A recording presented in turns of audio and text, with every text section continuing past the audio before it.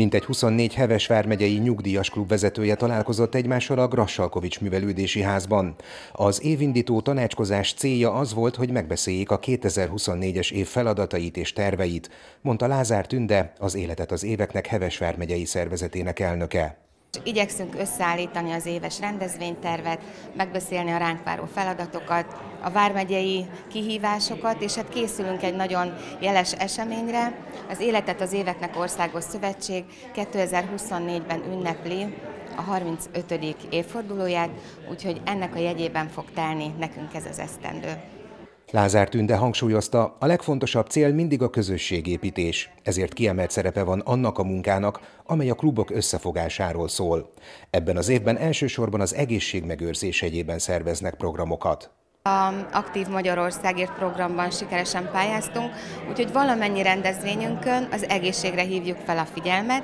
Gyalogló programok lesznek, örömtáncot tanítunk, örömtáncot tanulunk.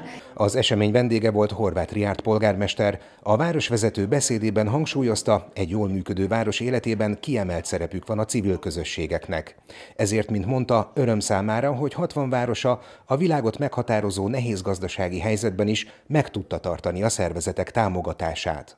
Nagyon fontosak a klubok, a sportegyesületek, és nagyon fontosak a nyugdíjas klubok. És azt is, azt is el kell fogadnunk, hogy ezek a civil szervezetek külső segítség nélkül azért nem haladnának olyan jól, mint ahogyan segítséggel teszik ezt. És ebben a nehéz időszakban is 60 várossal meg tudta azt tartani, hogy a civilek támogatását továbbra is tudjuk adni. Nem csökkent a civilek támogatása.